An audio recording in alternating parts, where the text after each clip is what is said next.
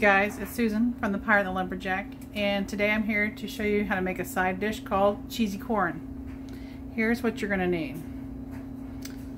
Alright, you're going to need three cans of corn. You're going to want to drain them. Um, the original recipe that my friend Kathy gave me called for white shoepeg corn. So I'm going to stick with the original, but we've also made this with just regular whole corn.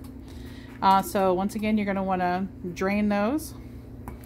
Uh, you need a bar of cream cheese, a stick of butter, you're to need some jalapenos, and some cheddar cheese. Alright, you're going to want to melt the stick of butter with the cream cheese in the microwave. Um, just kind of keep your eye on it, so probably around a minute. Um, but you want that butter to get as melted as you can.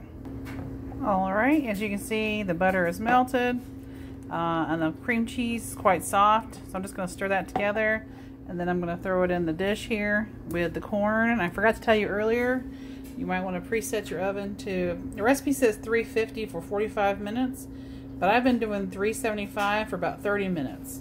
Uh, and it's come out pretty well. All right, once you've got the butter and cream cheese mixture mixed in with the corn, now would be the time to add jalapenos. The recipe calls for two cups of chopped or sliced jalapenos. However, that's way too hot for us. Um, I put a few jalapenos and a few little spoonfuls of jalapeno juice, and that's uh, spicy enough for us. But, you know, you do you. if you like it spicier, um, you add more. Okay, so I've added a few slices and a few spoonfuls of juice. You know, this is a 12 ounce jar, so two cups of jalapenos would have been at least that jar right there. That's way too many, especially for uh, small of a dish as this is.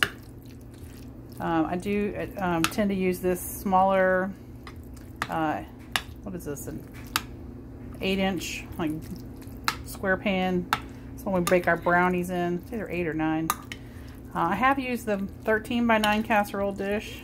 Um, it's just a thinner layer of it, but we like it done pretty well in this one. And uh, so you're going to then put this in the oven for 30 minutes. Um, maybe at 30 minutes, you're going to top it with some cheese and let that melt and get, uh, if you like it toasty, you can get it toasty. Um, but I tend to wait to put my cheese on uh, and add it another five minutes to it to do the cheese.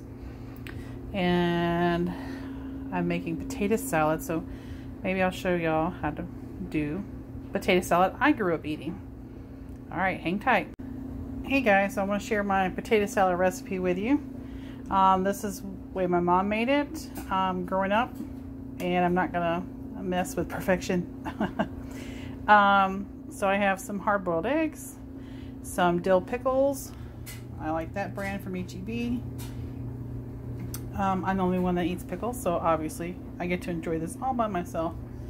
Sour cream, Miracle Whip, and I pressure cook my potatoes. All right, so I'm gonna come back and kind of chop some of this stuff up and get ready to put it together. So when I get ready to chop up my eggs, I don't use a knife. I actually use a fork and mash them because my mom says we wouldn't eat it if we could see the egg when we were little. So this has just been the practice since.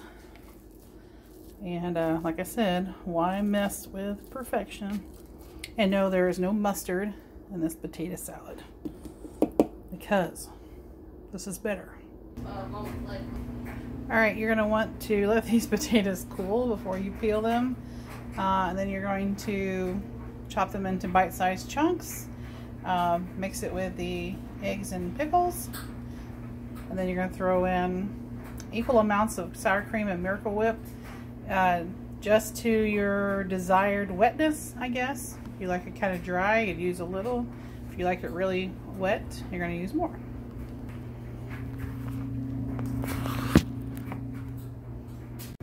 One thing I forgot to add is after uh, well, before you put your Miracle Whip and sour cream, after you've chopped up your potato, you want to salt your potato um, pieces before adding that, just to give it a little better flavor.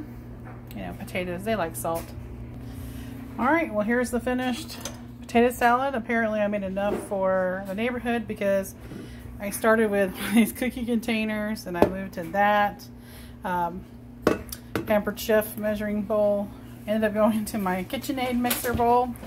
Um, I guess I'll dish it out into the leftovers into something, probably one of those.